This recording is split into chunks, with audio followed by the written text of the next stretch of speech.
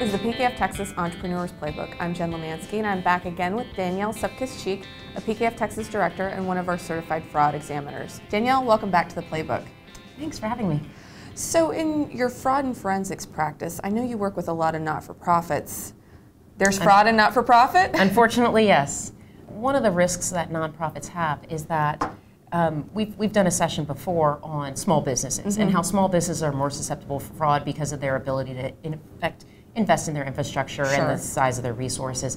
It takes it one step further for nonprofits, and the problem is is that most nonprofits um, are are not profit maximizing entities by Sure. the name, um, but really some kind of social good maximization. So most of their money goes toward spending on their mission. Right. Well, accounting is not usually the mission of most nonprofits, as much as I'd like it to be. Yes. Um, and so what ends up happening is that a lot of metrics for nonprofits on their success are based on the percent spend toward their mission versus what they spend on their admin or actually fundraising as well. But I care most about the admin Mm-hmm. for this this little. Um, conversation and topic because where you prevent fraud is on IT resources and accounting resources. Okay. And since they're actually theoretically penalized for investing heavily in IT and accounting infrastructure because of that percent spend, Right. um, through lesser donations is the penalty, um, th- they tend to go, push the limit as far as they can go on cutting costs on overhead and not investing in the technology that Not, not a lot of oversight either because a lot of not for profits are working with volunteers too. yes,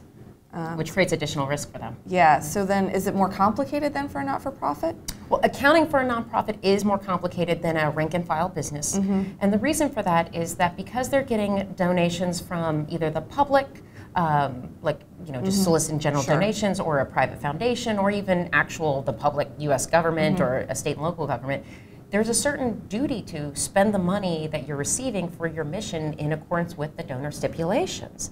And so that tracking is actually pretty darn complicated to do, especially on a, a you know bootstrapped mm-hmm. infrastructure from a, a, spend perspective. So how would a not for profit kind of not necessarily prevent fraud but eliminate some risk? So there's a lot of things that can be done to eliminate some risk. Key controls around cash, mm-hmm. really tightening down cash.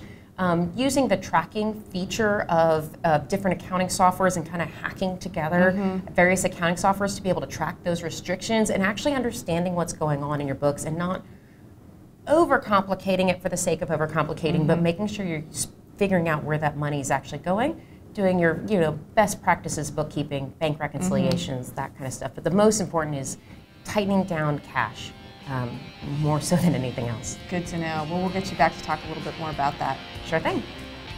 For more about this topic, visit pkftexas.com. This has been another Thought Leader production brought to you by PKF Texas, the Entrepreneur's Playbook. Tune in next week for another chapter.